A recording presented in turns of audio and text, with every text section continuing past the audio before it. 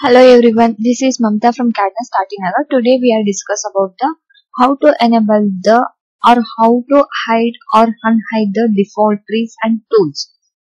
For example, if you uh, if you unhide the default tray, if you enable the default tray, for that option go to window and enable the default tray.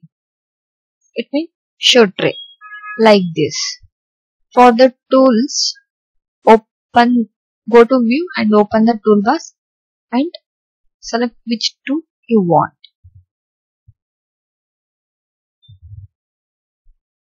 There are n number of tools is there. Which tool you want you can select the tool. It will be enabled like this.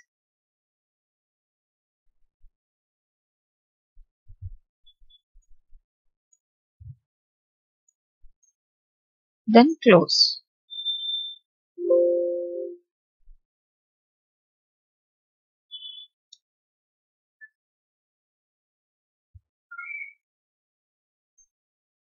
This is a sandbox tool. This is V-Ray for SketchUp. This is V-Ray lights.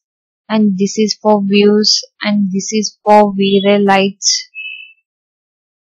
And this is main toolbars. And this is for styles.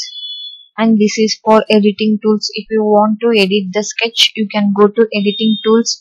If you want to subtract or interference the tool, you can go to solid tools and this is for the construction tools like you can measure the dimensions by using the construction tools this is for the basic drawing tools like you can use pen line freehand lines rectangles circles arc shapes. If you want to the shapes you can go to drawing toolbars. Like this. This is the toolbars. For more video, please subscribe the channel, press the bell icon. Thank you guys.